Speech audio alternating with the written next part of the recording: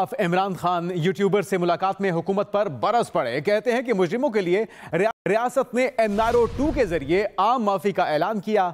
मुजरिमों के लिए रियासत ने एनआरओ टू के ज़रिए आम माफ़ी का ऐलान किया। यह कहना था सबक वज़ीर आज़म इमरान खान का। चेयरमैन पीटीआई ने कहा कि चोरों का कंसोर्शियम बनाकर 1100 अरब लूटे गए जमीनों की मंडी लगाकर जमहूरियत बेआबरू ऐवानों को लोटों से भरने की मश्क दोहराई गई।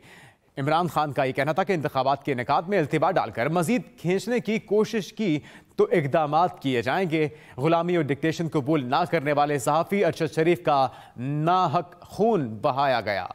इमरान खान का कहना था कि मुजरिमों के लिए रियासत ने एन आर ओ टू के ज़रिए आम माफ़ी का ऐलान किया। चोरों का कंसोर्शियम बनाकर 1100 अरब की चोरी माफ़ करने की शर्मनाक सबील की गई है। जबकि उन्होंने कहा कि जमीरों की मंडी लगाकर जमहूरियत बेआबरू ऐवानों को लोटों से भरने की मश्क को दोहराया गया।